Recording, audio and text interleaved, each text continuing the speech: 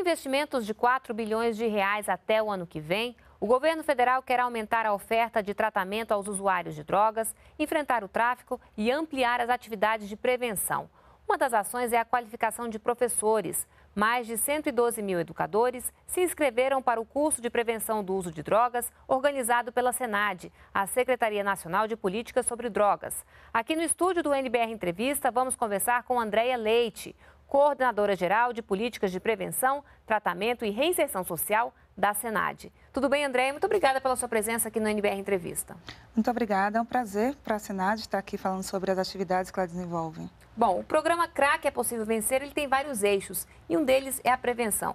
Esse é um trabalho que deve contar com a ajuda das escolas? Certamente. A gente compreende que as escolas é um terreno profícuo para que a gente desenvolva ações de educação lá educação e prevenção, porque lá as pessoas estão num processo de conhecimento, de obter orientações e informações, e lá estão disponíveis para poder receber orientações também. Então, compreendemos que a educação, as salas de aula, as escolas, são espaços imprescindíveis para o trabalho de prevenção. E sem falar que o professor é um agente multiplicador, né? Agente multiplicador e assim, é necessário também que ele tenha o conhecimento e a informação para poder passar para o aluno.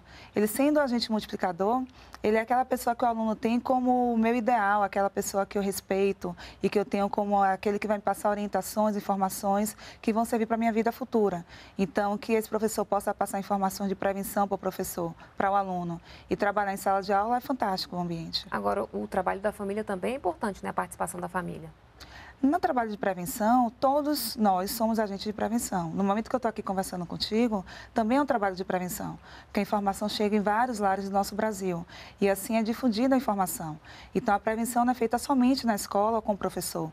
Os pais, o diretor, aquele pipoqueiro que fica na frente da aula e da, da sala da, das escolas e que lá os alunos interagem, também pode pedir informações. A comunidade, em geral, ela é fundamental nesse processo de educação, formação e prevenção. Bom, vamos falar um pouquinho então do os cursos oferecidos né, pela Senad. Uhum. Como é que está a adesão dos professores? Então, a Sinad realiza diversos cursos em diversas áreas, né? mas pensando especificamente nos professores, nós compreendemos que, como ele tem um acesso direto ao aluno e é um número muito grande de, de, pessoas que estão em processo de formação, nós temos um curso, que é o curso para educadores, que já está na nossa quinta edição. Esse curso é realizado em parceria com a Universidade é, de Brasília, né, que é quem executa o curso, né, e em parceria também com o MEC, porque nós desenvolvemos o trabalho para todo o Brasil. E nesse sentido, nós temos um, um, período do curso que é uma parte teórica. São 180 horas no, to no total, mas é dividido em duas partes. Uma e parte ele é à teórica, distância, ele é presencial, como é que é? É um curso à distância, né? Então, por isso que a capilaridade e o poder o alcance, de, né? o alcance é muito grande, porque municípios pequenos, acima de 200 mil habitantes, isso não é impedimento para que o professor se capacite. E, além disso, ao se formar, o professor recebe o certificado de extensão universitária. Nós compreendemos que, para além da certificação, que é importante para a formação do professor, o, é uma formação continuada, porque ao finalizar o curso, o professor realiza um projeto de intervenção para a própria escola. Nós tivemos assim a, a perspicácia de, ao orientar para que faça inscrição, abrir as inscrições para novos professores, que tenha um grupo de 5 a 10 professores em cada escola. Isso por quê? Se nós tivermos apenas um, numa escola com 60 turmas, por exemplo, é difícil desenvolver um trabalho com o professor sozinho.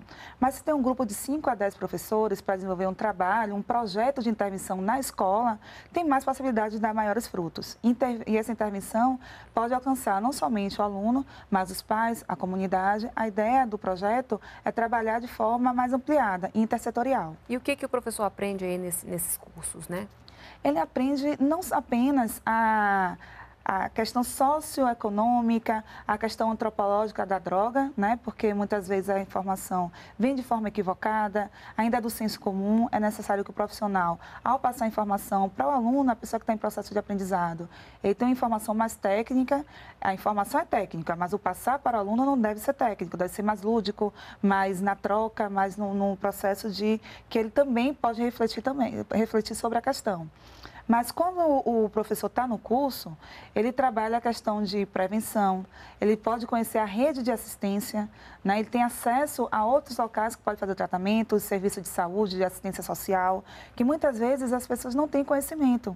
E é a rede de assistência que pode ser encaminhada ao aluno. Então, muitas vezes se percebe que o aluno tem algum problema em sala de aula e que ele quer ajudar, mas não sabe como.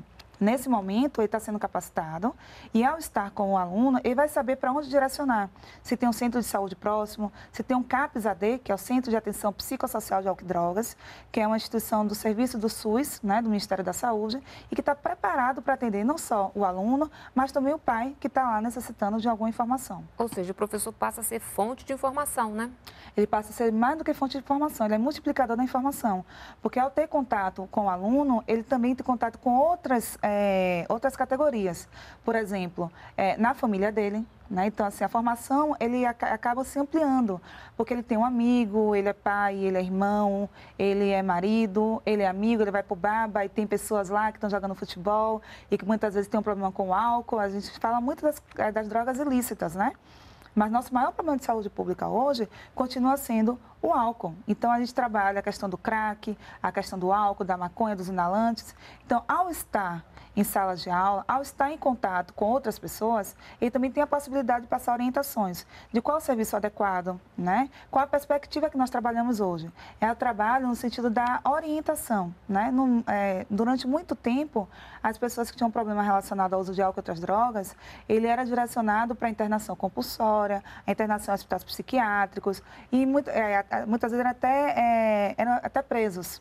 No momento, a perspectiva do governo federal é do cuidado, é de cuidar da pessoa que está em sofrimento, sofrimento decorrente do uso da substância, para que ele tenha um atendimento adequado como cidadão e como sujeito de direitos. Bom, André, vocês prepararam né, materiais que são distribuídos durante né, esses cursos voltados aí para os professores. Né? Vamos mostrar então esse material que vocês prepararam? Então, como eu falei, nós desenvolvemos o curso e 30 horas desse curso é direcionado para a elaboração de projetos. Esse projeto é desenvolvido com o professor, né? É, tendo em vista qual é o projeto que ele, qual é a estrutura que ele tem na faculdade, na, na escola, né? Então nessa escola ele tem que interagir com os pais, né? Então os pais também recebem o material. O professor é, elabora o projeto, esse projeto é desenvolvido para a turma que ele está fazendo o trabalho, e nessa turma ele tem diversos alunos com diversas faixas etárias. Então, pensando nisso, nós temos um trabalho para o pai trabalhar diretamente com seu filho, nós temos um material que é desenvolvido para o público jovem. Nós sabemos que tem a questão da droga não tem cor, não tem raça, não tem faixa etária. Então é necessário trabalhar com todos os segmentos. Então nós temos material para o público jovem, os adolescentes, e temos também para os pequenininhos, né, que estão iniciando a descoberta das informações, da orientação, e é necessário ter informação para eles também. Nesse material daqui, nós trabalhamos a orientação através da ludicidade, né? É um trabalho que foi, um material que foi desenvolvido em parceria com a Maurício de Souza Produções, é um material que foi desenvolvido com a equipe da Senage, para que a informação chegasse não pela via da, da coisa mais, como eu poderia dizer, quadrada, mas que você possa pintar, construir, interagir, brincar, né? interagir. E aí facilita, por exemplo, para o pai, como é que eu vou abordar a questão da droga? Né? Então, o professor, tendo a informação, ele já desenvolveu algum diálogo com o pai e o pai já se sente mais empoderado, já sabe, se sente mais capacitado para poder interagir com seu filho. E aí você tem a ação na escola e a ação em casa. Exatamente. E nesse sentido, a gente tem um, um trabalho conjunto, né? Parceria da comunidade, da sociedade, do professor, do pai, do aluno. Então, a gente pensa que a verdadeira prevenção, ela só se desenvolve quando a gente tem vários setores articulados. A gente fala muito hoje sobre intersetorialidade né, no, nos governos governo, nos ministérios, isso não é à toa. Porque não é um problema somente da educação, da saúde, da assistência social, é um problema de todos nós. E é necessário todos estarmos juntos para poder dar um, um, atendimento digno às pessoas que têm sofrimento em decorrência do uso da droga. Agora, André, vocês também estão organizando um concurso nacional né, sobre esse assunto. Queria que você falasse um pouquinho. Nós realizamos, a, já, já é o 14 concurso que nós realizamos, com diversas categorias. A gente pensa que é um momento interessante para que as pessoas possam criar né? Então, criar peças de jingle, cartazes, fotografias, monografias. É, e a partir desse momento que ele está preparando, refletir também a questão da droga. É, nós temos cartazes como de foto é, e de jingle que é aberto ao público em geral. Então, tanto o fotógrafo amador, como fotógrafo profissional, pode participar é o seu olhar, a sua percepção sobre a questão da droga. A gente trabalha sempre com é, questões de valorização da vida. Né? Durante muito tempo, as imagens negativas eram associadas à questão da droga ou do usuário. Hoje, a gente trabalha na perspectiva de valorização do ser humano. Né? Então, valorização da pessoa e se ele está em uso da substância, ele continua sendo sujeito. Então, a gente trabalha na perspectiva que a pessoa possa estar refletindo essa questão e, ao estar produzindo em sala de aula, por exemplo, nós temos a, a produção de cartazes que a gente estimula que os professores comecem a trabalhar em sala de aula. E é interessantíssimo esse concurso que, ao termos o retorno né, das escolas de como aconteceram é, o processo de elaboração do cartaz, como se deu o processo de elaboração do, do, do, da fotografia, do jingle, que tem a interação do aluno.